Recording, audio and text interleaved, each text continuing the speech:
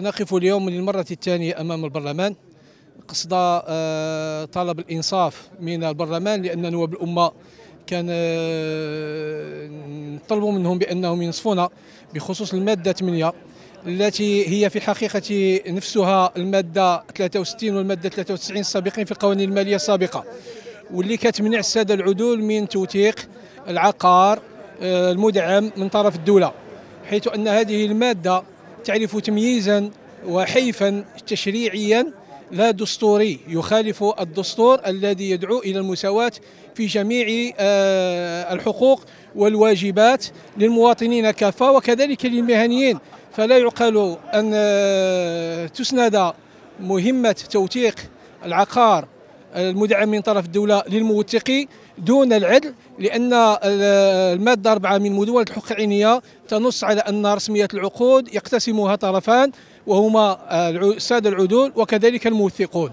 ولذلك فهذه المادة المادة 8 هي مخالفة لمنطوق المادة 4 من مدونة الحقوق العينية. اليوم كنتواجدوا أمام البرلمان آه، من بعد سلسلة ديال الإضرابات والوقفة آه، الأخيرة اللي كانت في الأسبوع الماضي وهاد الوقفات وهاد الإضرابات جات آه، احتجاجا على المادة الثامنة اللي كاينة في قانون المالية 2023 المادة الثامنة جاء فيها ذكر تخصيص الوعد تلقي الوعد بالبيع والبيع في السكن المدعم للموثقين في حين أن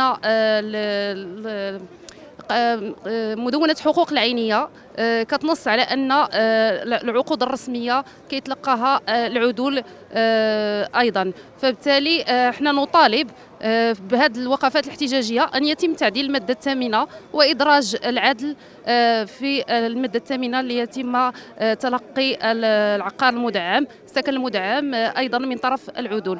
وما نطلبه ما نطالب به هو العدالة التشريعية. السادة العدول هم لهم حق الولاية هم الموثقون الأصليون في وطننا ونطالب بعدالة تشريعيه وعدم انتزاع حقوقهم الثابتة ثبت التاريخ. يا وزير يا مسؤول هادشي ماشي يا وزير يا مسؤول هادشي ماشي يا وزير في قريب